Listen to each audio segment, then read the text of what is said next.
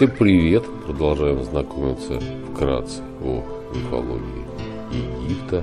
Баст или Бастет – древнеегипетская богиня радости, веселья, любви, женской красоты, плодородия, домашнего очага и кошек, которая изображалась в виде кошки или женщины с головой кошки. В период ранних династий до одомашнивания кошки ее изображали в виде львицы. Баст – вариант произношения имени, принимаемым большинством современных египтологов.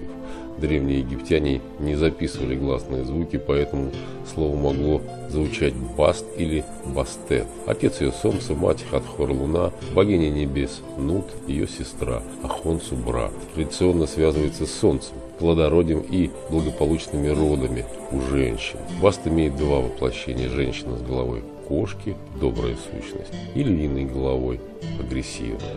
К концу древнего царства в некоторых случаях Баст отождествлялась с Сихмет и Тифнут, в новом царстве Смут и Хатхор. Я пользуюсь Википедией. Геродот рассказывает о популярном среди прочих фестивале в честь богини кошки Баст, когда люди плывут по реке и флейтах, хлопают в ладоши и поют.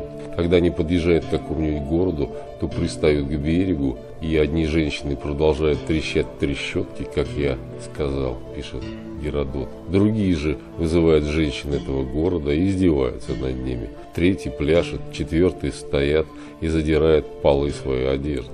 Это они делают в каждом приличном городке. Наконец, по прибытии Бубастис они справляют праздник с пышным жертвоприношением. На этом празднике выпивают виноградное вина больше, чем за весь остальной год. Собирается здесь, по словам местных жителей, до 700 тысяч людей обоего пола кроме детей. Хотя приведенная Геродотом цифра 700 тысяч праздно явно преувеличено. Вероятно, празднество было значительным не только для жителей города, но и для посещающих его паломников со всего Древнего Египта. Ну вот так вкратце, конечно, выборочно о богине Баст.